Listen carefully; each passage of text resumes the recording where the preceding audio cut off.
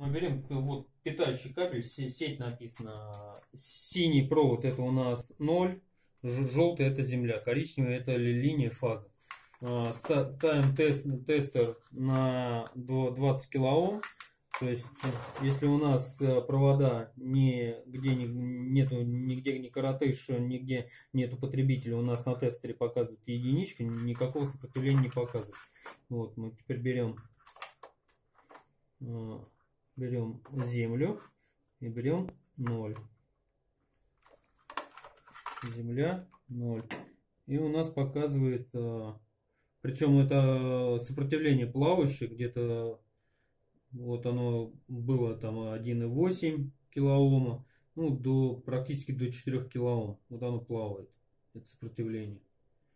Ну, вот сейчас ниже 2,4 килоом не опускается, до этого опускалось до 1,8.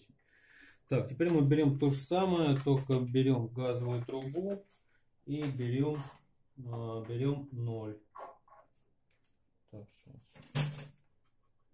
берем 0 и берем газовую трубу.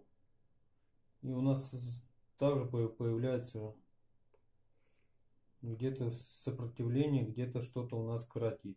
То есть здесь сейчас должно быть вообще вот идеально вот так должно быть. То есть никакого не сопротивления, ничего. Вот из-за того, что есть это сопротивление, у нас котел выдает ошибку Е8. То есть это у нас получается, а, на, когда котел хочет запуститься, а у нас получается уже на, а, на проводах уже как, как бы есть потенциал, то есть котел вроде просит, дает команду на запуск, и тут же автоматика видит то, что у нас котел как бы уже работает, находится в рабочем режиме такая банальная ошибка может испортить всем время и нервы.